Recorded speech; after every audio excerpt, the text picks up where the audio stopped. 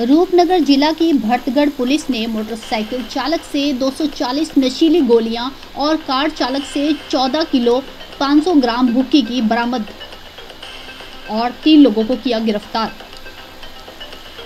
भटगढ़ police चौकी प्रभारी केवल सिंह ने बताया कि पुलिस को गुप्त सूचना मिली थी, जिसके आधार पर कार्रवाई करते हुए गाँव सरसा नंगल के पास मोटरसाइकिल पर सवार दो युवकों के पास 240 नशीली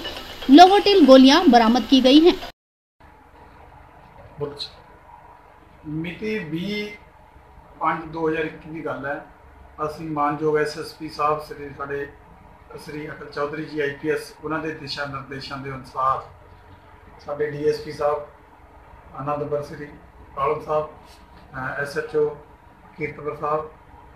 ਦੇ ਹੁਕਮਾਂ ਅਨੁਸਾਰ ਜਿਹੜਾ ਇੱਥੇ ਭਰਤਗੜ੍ਹ ਦੇ ਇਲਾਕੇ ਵਿੱਚ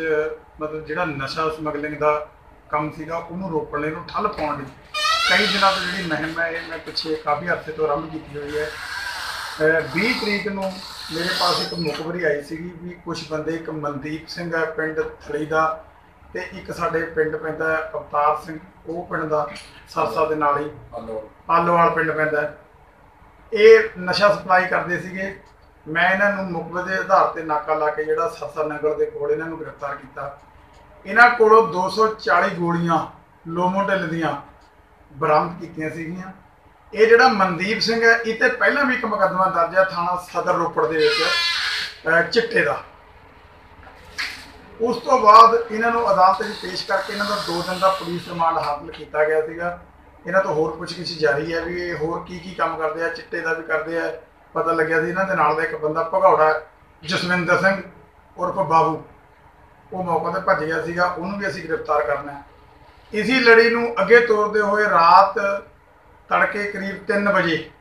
ਮੈਂ ਜਿਹੜਾ ਮਿਤੀ 22/5/21 ਨੂੰ ਨਾਕਾ ਲਾਇਆ ਹੋਇਆ ਸੀਗਾ ਜੀ, ਹਿਮਾਚਲ ਪਾਸੇ ਤੋਂ ਜਿਹੜੀਆਂ ਗੱਡੀਆਂ ਆਉਂਦੀਆਂ, ਉਹਨਾਂ ਦੀ ਚੈਕਿੰਗ ਕਰ ਰਿਹਾ ਸੀਗਾ।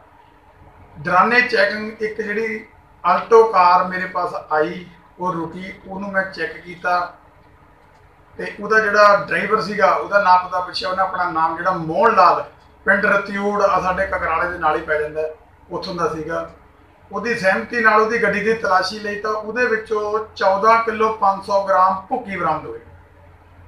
ਉਹਦੇ ਆਧਾਰ ਤੇ ਜਿਹੜਾ ਮੈਂ ਮੁਕੱਦਮਾ number 69 22521 under section 156185 NDPS act ਥਾਣਾ ਕੀਰਤਪੁਰ ਦਰਜ ਕਰ ਦਿੱਤਾ ਜੀ। ਇਹਨੇ ਆਪਣੀ ਪੁੱਛਗਿੱਛ ਦੇ ਦੌਰਾਨ ਮੰਨਿਆ ਵੀ ਜਿਹੜੀ ਭੁੱਕੀ ਹੈ ਹਿਮਾਚਲ ਤੋਂ ਲੈ ਕੇ ਆਉਂਦਾ ਸੀ ਉੱਥੇ ਇੱਕ ਬੜਾ ਕੋਈ ਪੁਲ ਵੱਜਦਾ ਹੈ ਉਹਦੇ ਪਿਛਲੇ ਪਾਸੇ ਕੋਈ ਘਰ ਹੈ ਉੱਥੋਂ ਦੇ ਇਹਨਾਂ ਨੇ ਕਿਸੇ ਬੰਦੇ ਦਾ ਮੇਰੇ ਕੋਲ ਨਾਂ ਡਿਸਕਲੋਜ਼ ਕੀਤਾ ਹੈ ਹੁਣ ਮੈਂ ਅੱਜ ਇਹਨੂੰ ਅਦਾਲਤ 'ਚ ਪੇਸ਼ ਕਰਕੇ ਇਹਦਾ ਰਿਮਾਂਡ ਲਵਾਂਗਾ ਜੀ ਉਹ ਜਿਹੜੇ ਫਿਰ ਮੇਨ ਸਪਲਾਇਰ ਨੇ ਜੀ ਮੇਨ ਸਮਗਲਰ ਉਹਨਾਂ ਨੂੰ ਨਪੂੰਗਾ